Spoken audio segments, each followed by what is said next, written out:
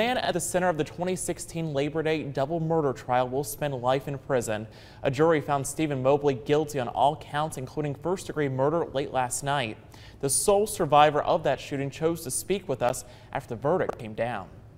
We, the jury, find the defendant, Stephen Morris Mobley, guilty of first degree murder. After seven hours of deliberating on Saturday, jurors reached a guilty verdict. Stephen Mobley did not react. Grateful, relieved, um, still sad because my friends are lost and he he still gets to live a life, but I'm glad it's behind bars. Zershadia Scott was the sole survivor of the shooting from Labor Day in 2016. She gave her account of what happened nearly two years ago during the trial. I did it for them. I did it for them and me.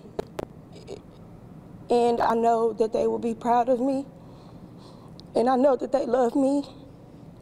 And I know that they know that I love them too and that I will miss them. Before jurors decided Mobley's fate, attorneys from both sides presented their closing arguments. Shot multiple times.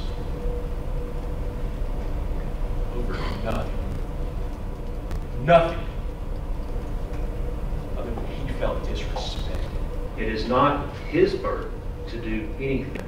It is simply and always the burden of the state of Tennessee to prove his guilt beyond a reasonable doubt. That didn't seem to change the jury's mind. In accordance with that verdict in count one, hereby sentences you in accordance with Tennessee law to life in prison. Scott says that's justice for her friends who were killed that night. I'm gonna always carry them with my heart, and I'm pretty sure their family and everybody else will be too.